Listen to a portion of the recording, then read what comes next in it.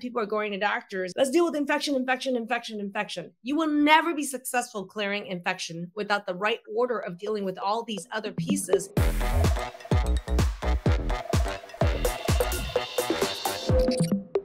I'm going to share the screen really briefly because it's what Laura's saying is, is like there are all these pieces of the pillars of transform. And if you guys haven't seen the five pillars of transform training, write five pillars in chat and just something to think about is notice here on this first pillar is blood sugar mastery. We haven't even dove into how blood sugar triggers these allergic reactions. Nutrient density is majorly digestive issues. So digestion and then the subsequent nutrient de- deficiencies. We've talked about food mapping and how knowing your true food sensitivities, false positive, false negative, real data, real outcomes, not just elimination diets. And then in the hormone balancing piece, uh, we haven't gone into it, but the role of good bacteria in your gut to ferment really breaks down histamines and toxins. And then this whole concept around gut health, like gut health, people talk about infections. And number one here under that, the order is just plain wrong in how we deal with gut health. How do you actually deal with infections in your gut, which is then triggering histamine reactions without mastering your blood sugar, without dealing with your digestion, without doing food mapping, and without helping fermentation and liver detox of your body? You just can't. There you go. Boom. And the thing is that Laura brought up the point is what are the five pillars of transform, but also what is the pillars in the right order?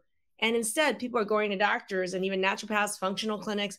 Let's deal with infection, infection, infection, infection. You will never be successful clearing infection without the right order of dealing with all these other pieces that had set your environment of your get up in the first place for that infection and for it to come back over and over again. So, order really matters. And speaking of water, one of the other first things that you have us do in the program is we start uploading on that water.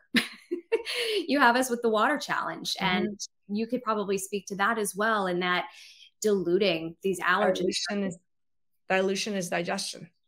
Dilution is detoxification, right? And yet, so many people are sitting here on elimination diet. They're nauseated all the time. They're sick all the time, and they're dehydrated as heck which is why one of the really important pieces, one of the first modules we have is how to actually calculate and measure and consume every day the optimal amount of water for you personally. So, hydration, huge part of this. And hydration is digestion. Mm-hmm. mm-hmm. Yeah. Hi, I'm Maggie Yu MD, and I'm a functional and holistic medicine physician and the creator of the Transform and Transform Protocol. If you're interested in learning what are the root causes of all chronic disease, go ahead and click the link in the description where I have a power pack 30 minute training that goes over what are the five pillars of transform.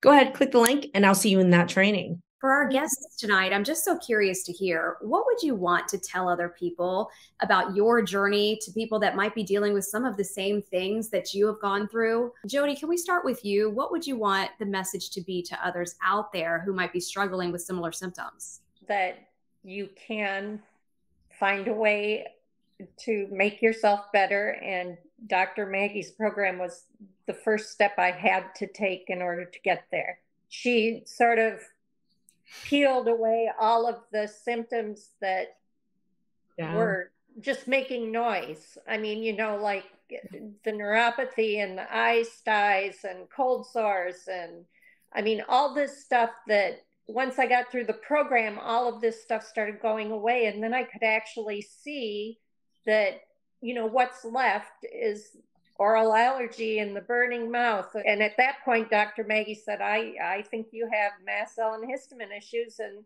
that was the first time anybody had told me, you know, mm. you need to concentrate on this, as opposed to, you know, even when I went to a nurse practitioner before, she would just say, research this and see what you think. But everything she told me to research, I had all these symptoms of everything.